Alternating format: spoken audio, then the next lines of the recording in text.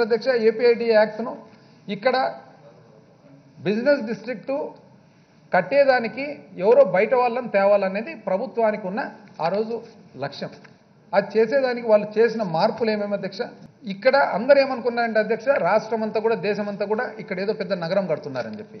వాస్తవానికి యాక్చువల్గా వాళ్ళు చేసినది ఏం తెలిసిన అధ్యక్ష? ప్లాట్ల వ్యాపారం. ఓన్లీ ప్లాట్లే అధ్యక్ష.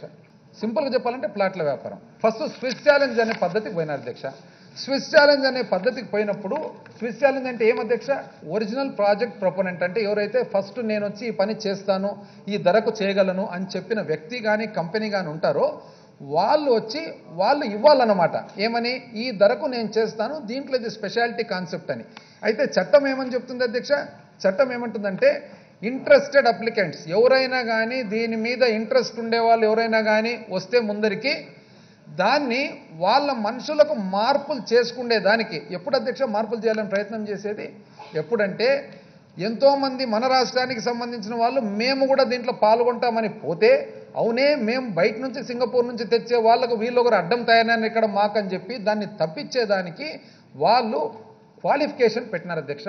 ముందరనే క్వాలిఫికేషన్. ఏమంటే ఆ క్వాలిఫికేషను?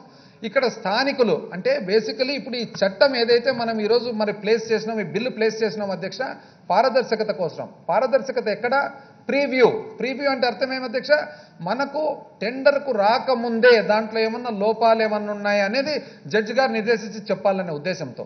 ఇక్కడ గత ప్రభుత్వం చేసిన చూడండి అధ్యక్ష ఏం చేశారంటే చట్టంలో ఎవరైనా కానీ పాల్గొనొచ్చారంటే వీళ్ళు ఏం చేస్తారంటే క్వాలిఫికేషన్ పెట్టినారు. ఇవన్నీ ఇన్ని రూల్స్ రెగ్యులేషన్స్ ఎందుకు పెట్టినారని చూస్తే వేరే దేశంలో కాదు మనం వ్యాపారం చేస్తుండేది వేరే దేశంలో కాదు మనం ఏం కడుతుండేది. మన దేశంలో మన గుంటూరు పక్కన ఉండే ప్లాట్ల వ్యాపారం చేసేదానికోసము ఇన్ని రూల్స్ పెట్టినారు అధ్యక్ష వాళ్ళు. సెక్షన్ టూ ఎస్ఎస్ అని ఉంది అధ్యక్ష స్విస్ ఛాలెంజ్ అప్రోచ్ దాంట్లో ఇంట్రెస్టెడ్ అప్లికెంట్స్ అని చెప్పి తీసేసి అంటే ఎవరైతే ఎవరైనా కానీ పాల్గొనొచ్చు అనే దాన్ని తీసేసి కొంతమంది మాత్రమే ఎవరైతే వాళ్ళు ముందరనే చెప్తారో వాళ్ళు మాత్రమే పాల్గొనేటట్లు ఏర్పాటు చేసి పెట్టినారు అధ్యక్ష. అథారిటీ ఉంటుంది అధ్యక్ష. Andhra Pradesh infrastructure development authority authority మామూలుగా ఎట్లయితే అధ్యక్ష ఈ అథారిటీ ఏదైతే ఉంటుందో వాళ్ళు ప్రాజెక్టును ఫస్ట్ తెచ్చిన తర్వాత అన్ని రకాలుగా వాళ్ళు సమీక్షించిన తర్వాత ఆ తర్వాత ప్రభుత్వానికి పంపిస్తారు. కానీ వీళ్ళు మార్చి దాన్ని ఏం చేసినారు అధ్యక్ష? అథారిటీనే లేకుండా ఫస్ట్ పైన నుంచి ప్రభుత్వం వచ్చేటట్లు ప్రభుత్వమే చెప్పేటట్లు. ఎందుకంటే ప్రభుత్వము మీన్స్ వాళ్ళు గవర్నమెంట్ వాళ్ళు మీన్స్ క్యాబినెట్ కాబట్టి క్యాబినెట్ ద్వారా ఏమైనా చేసుకోవచ్చు అనే దానికోసం ఇన్ని మార్పులు చేసినారు అధ్యక్ష. ఇటువంటి మార్పులు ఇటువంటివి జరగకూడదనే ఉద్దేశంతోనే ఈరోజు మరి బిల్లు తేవడం అని చెప్పి మీకు తెలియజేస్తా ఉండే అధ్యక్ష.